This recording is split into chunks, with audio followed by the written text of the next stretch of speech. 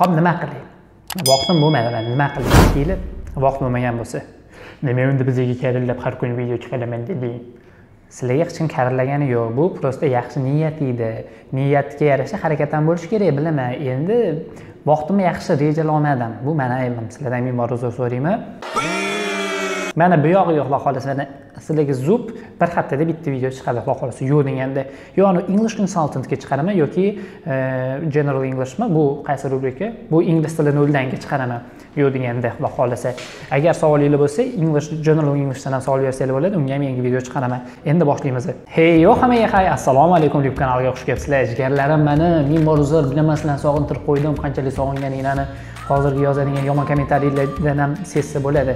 Qaqqa bo'lib qolding nima viza chiqarmabsan xavotir olmanglar barcha shu yerda. И bugun sizlar bilan ingliz o'rganamiz bugun sizlar bilan ko'rib chiqadigan mavzuyimiz bu past simpleni ikkinchi qismi ya'ni e, ikkinchi sequel sequel. Anaqani past simple va sequeli sequelni mana ikkinchi частini aytadi. Okay here we go.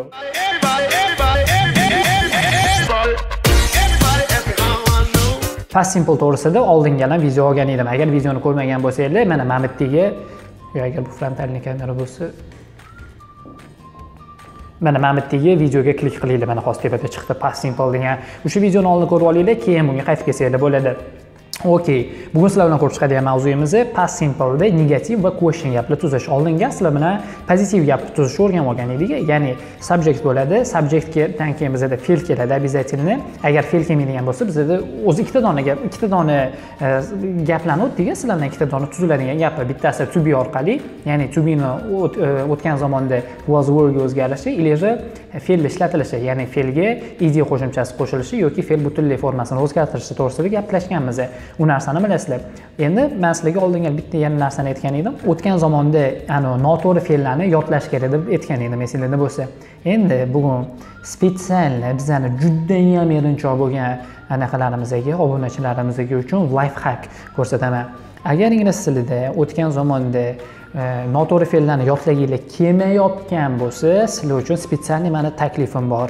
Bu negativ gap ishlatish. Negativ gapni sizlarga umuman kerak bo'lmaydi. Negativ gapingni sizda past simplda qanaqa tuziladi? Qaranglar subjektni olasizlar. Любой subject. I you we they he she it любойni olasizlar. Plus did not qo'shimchasini qo'shasizlar. Qisqartmasi didn't bo'ladi. Did not qo'shasizlarda plus verb o'zini yozib qo'yasizlar. I didn't play tennis yesterday. Play o'zi kelyapti played deyotganim yo'q. Yoki i didn't go to school yesterday. I didn't went deyotganim yo'q ko'rasizlarmi? O'zini formasida keladi faqat hamma gapni yo'q deb gapirishinglar kerak bo'ladi. Qilgan ishinglarni ham qilmadim deb turishingiz kerak bo'ladi. Shunaqa bezrayib ko'rib turganinglardek negativ yasash ham xuddi present simpleda. Qandoq biza e, don't yoki doesn'tdan foydalansak ingliz tilida biz didn'tdan foydalanamiz. Ya'ni didn't subjektni hamma formasiga nisbatan bo'ladi. I will use it, I will use he, she, it. Hammasi poдряд o'zinglar qo'yib chiqaverasizlarda и bu yog'iga didn't verboza didn't verboza. Past simpleda past qiladigan narsa bu uni signalli so'zlar signalli so'zlar emas endi. Past simple bilan keladigan so'zlarda. Misol uchun kecha o'tgan kuni bir soat oldin ikki soat oldin besh minut oldin bir minut oldin там o'n sekund oldin bir sekund oldin ko'rasizlarmi? Hozirgi уже hozir bundan oldin gapirgan gapim ham уже past simpleda. Mana bu gapim ham уже past simpleda bo'lib qoldi. Ko'ryapsizlarmi har bitta gap bizada past simple. Question qanaqa yasaladi?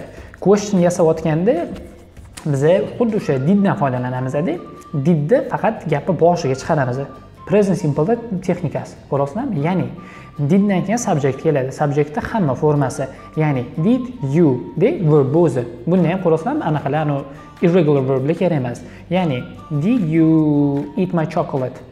Ruslar kelyaptida did you eat my chocolate? deyapti ya'ni san mani shokoladimni yedingmi deyapti keyin sizlar uni bundoq qaraysizlarda og'zingizdan bundoq shokoladni artib tashlab no i didn't deysizlar. Iloji bo'lsa mana shu gapni aytayotganinglarda ko'zinglarni pirpirlatmasligiga katta e'tibor beringlar. No i didn't. Ko'ryapsizlarmi okey. Bu qisqa javob edi ingliz tilida no i didn't to'g'ri javob bo'lsa qanaqa bo'ladi? Yes bilan bo'ladigan bo'lsa qanaqa bo'ladi? Agar yes bilan javob beradigan bo'lsanglar yes i did deb javob berasizlar. Yes i did no i didn't. O'tgan zamonda beriladigan savolga. Tasavvur qilinglar birov sizlarga savol beryapti. Did you have good marks when you were at school? Ya'ni san maktabdaligingda sani baholaring yaxshimidi? Unga qisqa javob beramiz. Yes i did. Bunda ham pirpirlatish yo'q. Yes i did. Yoki agar mendagi e, честный odam bo'ladigan bo'lsanglar no i didn't deb shundoq smeldek tursanglar bo'ladi. Yes i did no i didn't endi he she'ga qanaqa javob bo'ladi?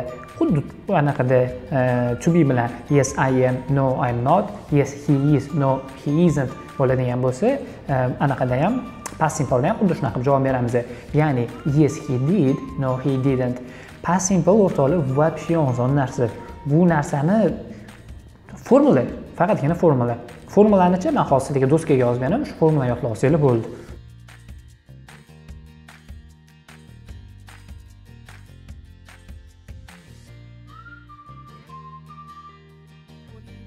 Ko'rganinglardek judayam oson narsa. Past simpledan ingliz tili osonroq даже present simple ham qiyinroqda aslidagi krutoy bolalar agar present simple tushungan bo'lsa past simpleda umuman qiynalmaydi. Videomiz qisqagina bo'ldi. Sizlarni vaqtinglarni olib umringlarni nima qilib cho'zib yubormay dedimu. Bu lekin vaqtincha narsa.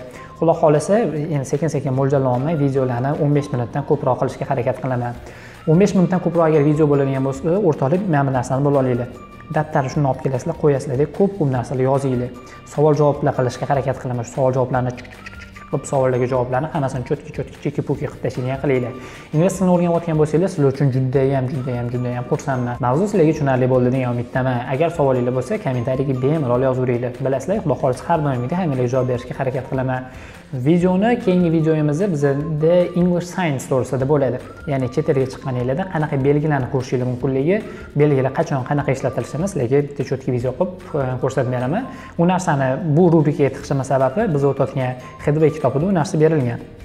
O'shaning o'sha mavzuga kelganda tormoz bo'lib qolmasligi uchun yaxshilab qilinglar. O'rtoqlar agar hdvga ko'chirib olib manga yaxshi rezultatlar yaxshi emas yomon rezultat bo'layotgan bo'lsa ham o'z bu narsani o'rganayotgan bo'lsanglar iltimos manga telegramdanmi anaqadanmi e, mana shu videoni tagidanmi yozinglar man mana shu kitobdan o'rganyapman mana bunaqa rezultat bo'lyapti deb. Man bilay o'sha narsani man ko'ring man shunga qarab bundoq подходimni o'zgartiramanda. Iloji boricha man maqsadim nima? Sizlar konkretni o'rganishinglar sizlar uchun xudo xohlasa zo'r sharoit qilib berish harakat qilaman sharoit qanaqa sharoit qilib bera olmayman biroz videoni zo'r qilib chiqarishga harakat qilaman. O'shaning uchun menga yordam berish uchun ham sizlarga sizlar o'zinglar o'rganishinglarga menga yordam bering tushunayapsizlarmi mani videom yaxshi bo'lsa sizlar yaxshi o'rganasizlar mani videom yaxshi bo'lishi uchun sizlar menga aytishinglar kerak. Man buni mana bunaqa qilsam man buni mana bunaqa qilgin deb. Hammaga kattakon rahmat. Ketkazgan vaqtinglarga rozi bo'linglar ko'p ko'p bo'lganlar shunaqa deyotgan ketkazayotgan vaqtinglarga rozi bo'linglar masalan hammanglarni yaxshi ko'raman o'zinglarni ehtiyot qilinglar. Keep moving and leap forward.